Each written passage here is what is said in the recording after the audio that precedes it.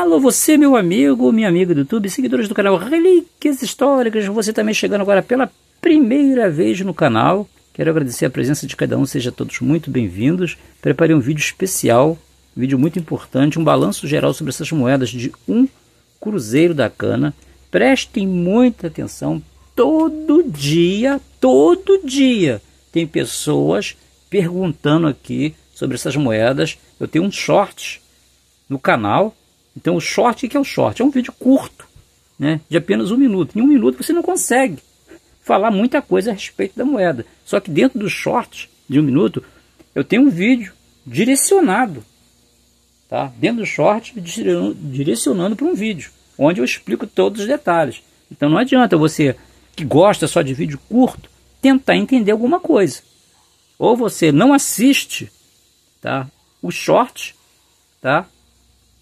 Ou você, do short, você pula para o vídeo onde vai te explicar cada detalhe, igual está nesse vídeo aqui. Esse vídeo aqui é para você não ter dúvidas. Eu estou aqui tendo a responsabilidade, me colocando na obrigação de ensinar cada detalhe de cada moeda dentro do vídeo.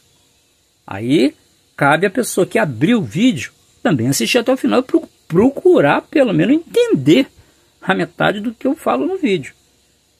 Agora, se a pessoa não quer ver o vídeo, não quer ter responsabilidade de aprender, depois fica perguntando coisas que não tem nada a ver com o vídeo, sobre moeda, ah, eu quero vender, ninguém compra a moeda, eu tenho um, um saco, eu também tenho um saco de moeda dessa aqui, dessas aqui. Agora eu duvido que você tenha um saco da moeda que eu vou mostrar para vocês, que está aqui nesse bolo, são sete moedas. Tem moedas aqui que eu sei que muita gente tem um saco de moeda, uma lata cheia, eu também tenho. Agora, tem uma moeda aqui que eu só tenho uma, e a outra eu só tenho duas. Então quero ver se você tem essas moedas para vender. Pô, meu amigo, meu amigo, se você tem, para você chegar a dizer ah, que ninguém compra as suas moedas, ninguém se interessa, primeiro você tem que ter, pelo menos, no mínimo, feito um vídeo, batido uma foto, postado nas redes sociais, mostrado em algum lugar para alguém ver moeda no, na sua casa. Se você tem essa moeda rara, tá? E não fez nenhum vídeo, não bateu a foto, não postou em lugar nenhum, então não adianta você dizer que ninguém compra. Todo mundo compra moeda. Mas como que a pessoa vai comprar uma moeda se você não está postando em lugar nenhum? Como é que a pessoa vai te achar? Saber que você compra uma moeda.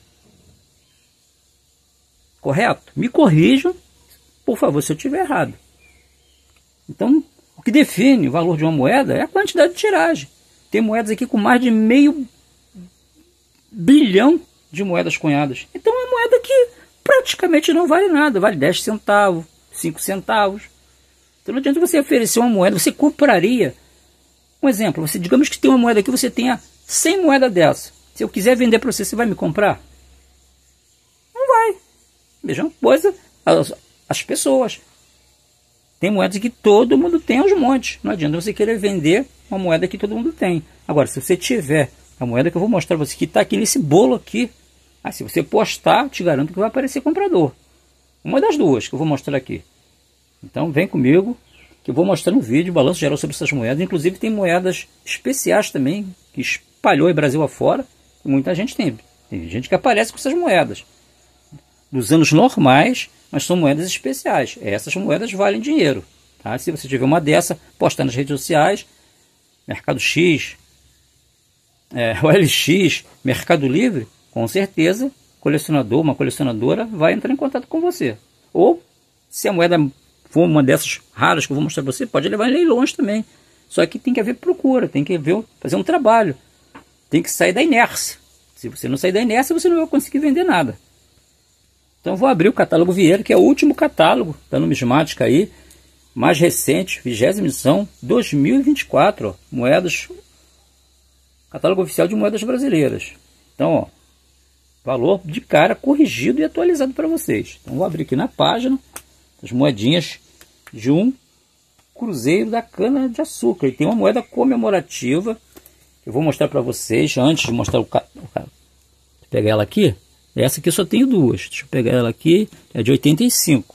Essa é de 85. O que, que tem diferente nessa moeda de 85? Vou virar aqui, ó. Ó, na frente são iguais. 1984 e 85. Na parte de trás, ó, uma está a cana de açúcar, a palavra Brasil, e a outra ó, também tem a palavra açúcar aqui. A única que tem isso aqui, açúcar, e aqui, ó, alimentos para o mundo. Tá? Alimentos para o mundo. Certo? Deu para ver? Então, essa aqui é a moeda comemorativa dos 40 anos da FAO, que é essa aqui de 1985. E a outra moeda rara, que eu sei que você não tem, tá? É essa aqui. A moeda de 1983, que foi a moeda que não entrou em circulação. Uma tiragem muito baixa, apenas 100 mil peças. Tá? 100 mil, não é que ela vale 100 mil. 100 mil é a quantidade de tiragem. Então, a moeda mais rara, moeda mais rara da coleção, ela teve lá em 1983, conforme a Casa da Moeda, Banco Central, 100 mil peças. Porém, ela não entrou em circulação, não era para estar nenhuma na mão de ninguém. Só que alguns sachê acabou vazando, se espalhou essa notícia e hoje é a moeda mais procurada aí da série. Tá? Uma das mais procuradas de 1983. Não só pelos nós brasileiros, como pessoas lá de fora. Então tem muita gente, muito brasileiro, muito colecionador, muita loja, mas querendo essa moeda, sabe para quê? Para montar a coleção e vender caríssimo lá para fora. Tá? Que ela é a moeda onde tem o quê? Tem a moeda da FAO. A moeda da FAO é colecionada no mundo todo. Então todo mundo que tem uma moeda da FAO geralmente quer completar a coleção. Então pagam caro por essas moedas aqui. No catálogo está o valor bem abaixo do que é pago lá fora. E vou dar uma dica. Né? Catálogo, é um valor de referência, não é um não é oficial, não é um decreto-lei. Então, se você tiver essa moeda aqui, ela é considerada. Muita gente pode dizer, ah, 100 mil, Pô, 100 mil não é moeda rara, 100 mil, mas ela não entrou em circulação, entrou alguns sachê, ninguém sabe quantas moedas entraram, talvez duas, três mil moedas, cinco mil moedas, ninguém sabe. Então, 95% dos colecionadores não tem essa moeda, então não é uma moeda comum, é uma moeda rara. Tá? Então vamos ver quanto está valendo essas moedas aqui. Existem algumas moedas provas que eu vou mostrar logo de início. Aqui, ó. Moedas provas. Tem aqui, ó. 79, 80, 81 e 85. Inscrição prova. Essas moedas valem entre 220 e 450 reais. Aí a de 79 vale, a de 80 vale, a de 81 vale, certo? As normais não. Olha a quantidade de tiragem dessa moeda de 79. 596 milhões. 690 milhões, 560 milhões, tudo mais de meio bilhão cada uma. Então é uma tiragem muito alta. Então essas moedas aqui não adianta você querer posta já dá para vender que você não vai conseguir vender. Agora, se você tem uma prova, ou essa aqui, posta essa aqui para vender de 83, 100 mil peças. Ou essa de 85, teve 10 milhões apenas. Essa aqui, mais ou menos 70% dos colecionadores não tem essa moeda.